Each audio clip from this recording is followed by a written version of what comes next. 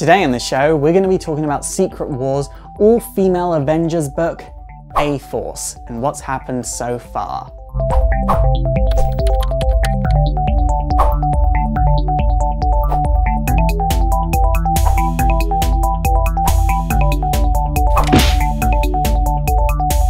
So issue number one starts out with A-Force doing a patrol of the island. We see the Baroness of the island is She-Hulk and she is very very close with Medusa and Spider-Woman. When a giant shark attacks the island, it's up to the members of A-Force to assemble and do their job. And this is when we meet the core members. Captain Marvel, Nico Minoru, and here she actually goes by Sister Grimm, which is kind of weird considering she never really used that name in the comics past the first run of the Runaways.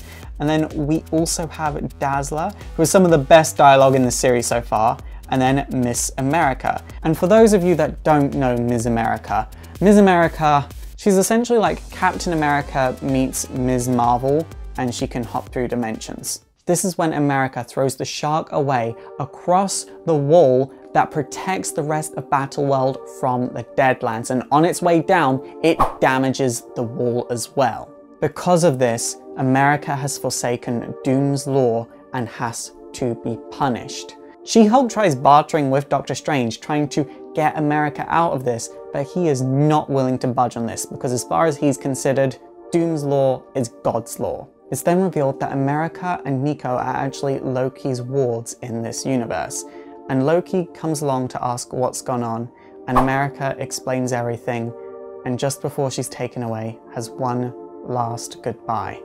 And then the Thors come along, and in a flash of light, America is gone, leaving Loki heartbroken and Nico blaming herself. Later that day, She-Hulk decides she's going to prove the innocence of America, so she calls the Submariners, and they dive into the oceans of Arcadia because She-Hulk believes that that shark thing was not native to Arcadia. It was planted there by something else. Meanwhile, elsewhere, Nico is sat by a lighthouse and she sees something fall from the sky. And this thing turns out to be a girl which looks like the universe incarnate, but that's very, very strange because, according to Doom, there is nothing above the clouds. Issue number two picks up with the submariners finding a portal to other parts of Battleworld, but as they find it, it begins to close. The next day, it's revealed that Nico has taken her new friend home, and the new friend has recovered from falling from the sky somehow. And this is when Loki walks in and is like, Look, I know you're sad and stuff, but we don't know who this girl is, and I don't want you being taken away by the Thors too, so I'm gonna go tell A-Force about this girl, and you have to come with me. The girl is brought before A-Force, and all is going fine until the girl gets scared, and a portal opens up just above her, and a Sentinel jumps out. And with the girl's help, A-Force is able to destroy the Sentinel. But this is when Medusa is like, so the girl causes portals, great, we're gonna take her to Doom, right, and prove America's innocence. And She-Hulk's like, we don't have enough proof yet. We haven't actually seen this girl make a portal. And if she really did fall from the sky, there is no way she caused the first portal. So I'm going in. Okay, bye. She-Hulk jumps in a portal and on the other side, there is a wasteland that she has never seen before.